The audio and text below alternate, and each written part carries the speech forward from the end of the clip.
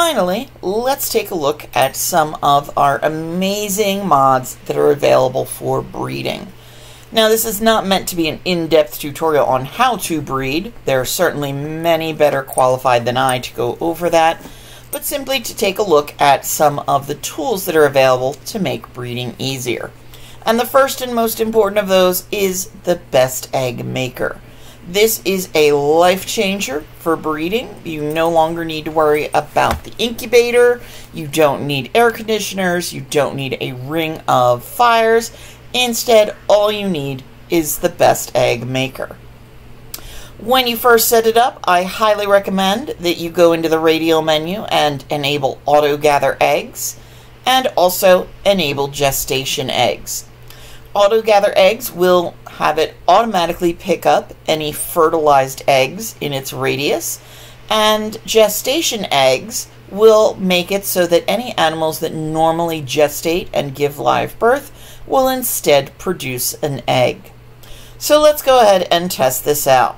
I have my lovely parasaur pair here, and I'm going to go in and turn on my female and have them produce an egg for me. Once the egg is laid, the best egg will automatically pick it up and put it in its inventory.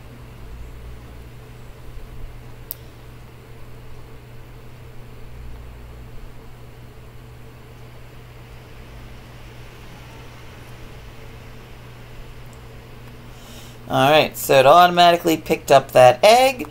I'm going to go ahead and turn you off.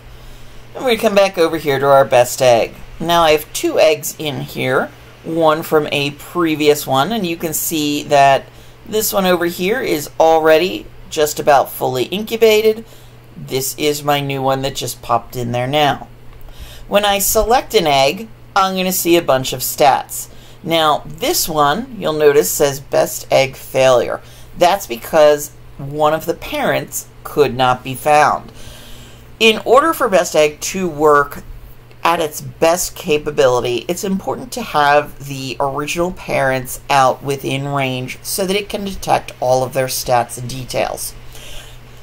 It's not absolutely necessary, but if you want to use all of the features to their fullest, it is very helpful. So with this one, you can't find the parents, so it's just going with the basic stats that it has available. In order to hatch this egg, I'm going to go ahead and just throw it out of the incubator. And, oh look, twins.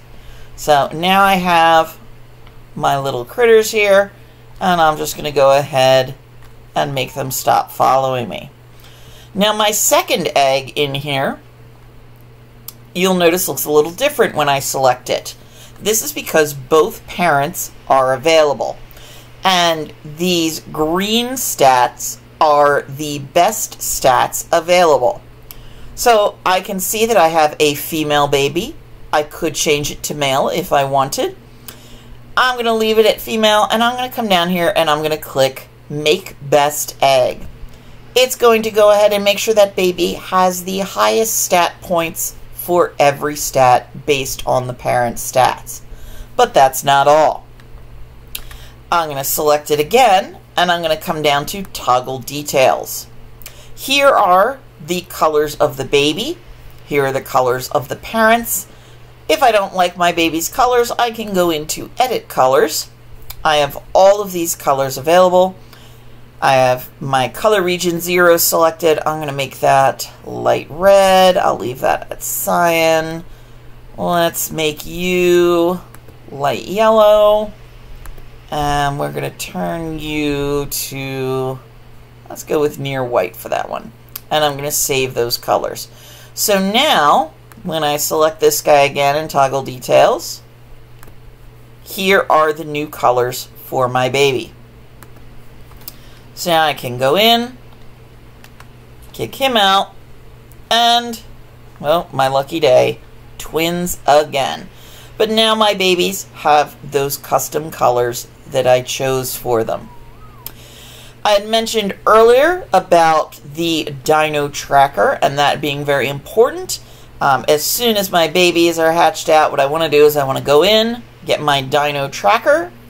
I'm going to put one of those inside its inventory and force it to consume it. You'll notice it now has the little blue map marker above it. That means that it is now able to be tracked with a teleporter or teleporter remote, and I can retrieve it from anywhere on the map if I lose it. We'll let these babies sit here and grow up for a minute. Um, I can also go ahead and soul ball any that I want to imprint. And remember that the soul balls will go ahead and automatically imprint for you. So the last thing to look at over here are the SS mutators, and I have five of these set up. Mutators are fantastic for breeding. There is no more trying to wait ages and ages and ages for mutations. If you set up some mutators, they do require element to run, but when you go in and we look at our mode, this will send out a pulse of radiation that causes nearby dinos to lay mutated eggs or give birth to mutated offspring.